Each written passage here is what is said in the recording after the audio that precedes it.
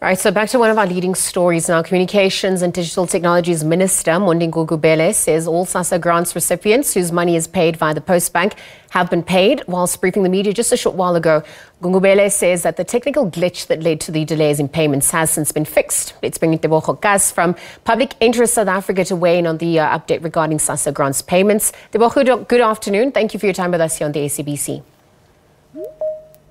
Good afternoon. Thank you for having me, Lisa. Let's get your reaction on the uh, briefing that just, um, you know, was undertaken by the minister. What's what's coming to the fore for you at this point, following that briefing? Yeah, clearly there's an alternative reality that the minister or this government seems to operate uh, within because I just so happened to be in the West End at the moment. And finally, earlier this morning, I was talking to one, one of the elderly people whose relative is still yet to receive any payment per their testimony and per their information this morning. And it, it is distressing because at the end of the day, they have to go and borrow money from uh, loan sharks to try and make the trips wherever they post banks or wherever they, the facilities they draw their patients from. And they still come back empty handed. It might very well be that a large majority of the recipients have received some payments, but it is for the minister to go on public TV and say everybody has. It's a bit mis- could be a bit mis- misleading in my, in my take because clearly the situation on the ground is not what the minister is putting to the public.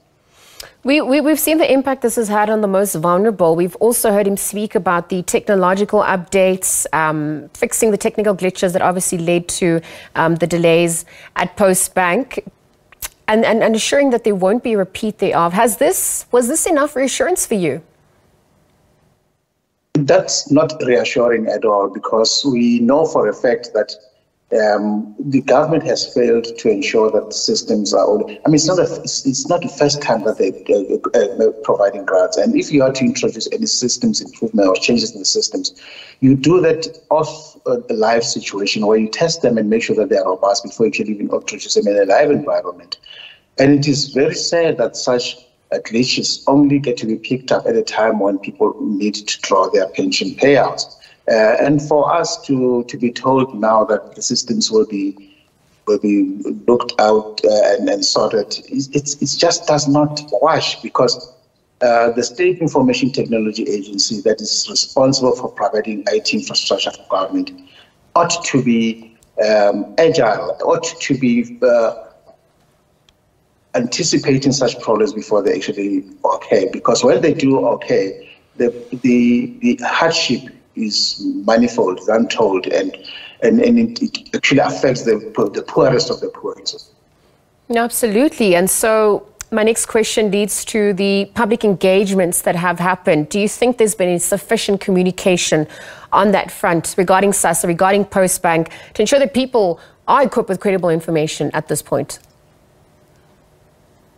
I, I, clearly, I doubt it because um, I mean my interactions with people who benefit or who are pensioners or, or who are beneficiaries of the grants, uh, some are still none the wiser as to what is actually happening or, or what, what, next to expect from from from the system, and clearly it, it, that points to one thing: lack of proper communication or engagement with stakeholders that. Uh, uh, ought to be brought along and made sure that they actually understand how the system works or any changes that actually have been introduced.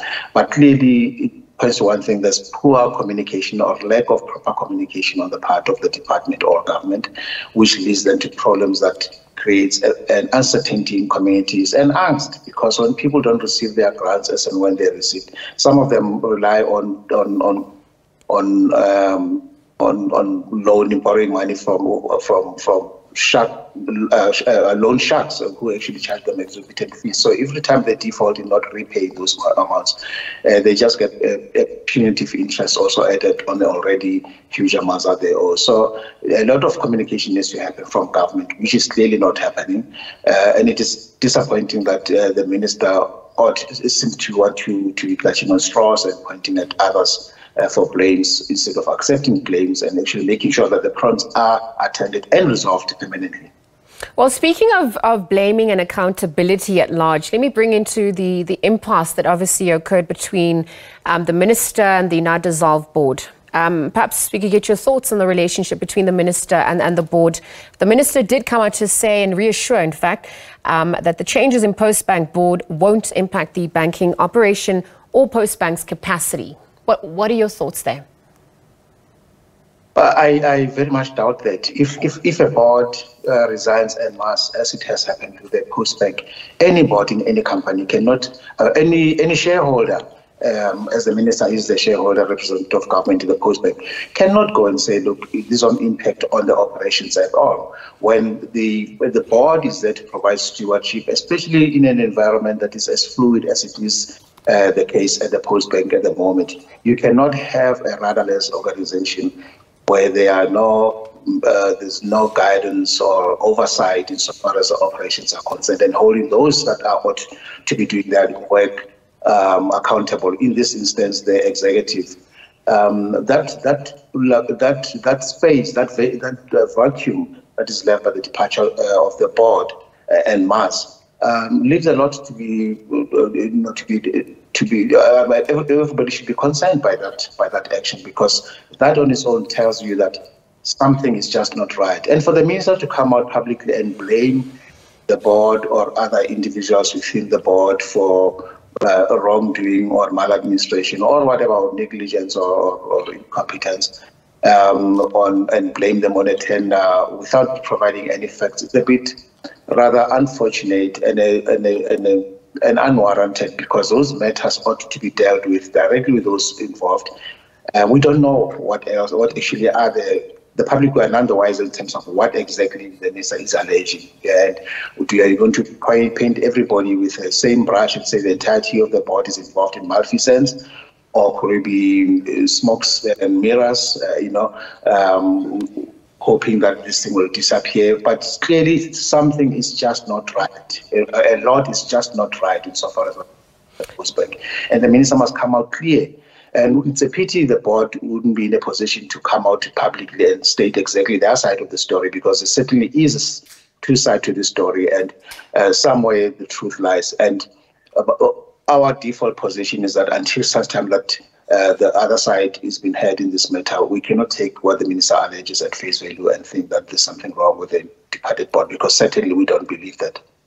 Well, some mixed reactions coming through there from Tebogo Khaas. Thank you for your time with us on the SABC. Tebogo Khaas from Public Interest South Africa weighing on the update of course, regarding the SASSA grants payment. That briefing was done by the Communications and Digital Technologies Minister, Mondli Gungubele, just a short while ago, reassuring that um, the SASSA grants uh, recipients money is paid via the Post Bank, in fact, have been paid. Tebogo saying some haven't, uh, also saying it's had an impact on the most vulnerable. We'll have to see where it unfolds from here on too, but thanks to him for his time.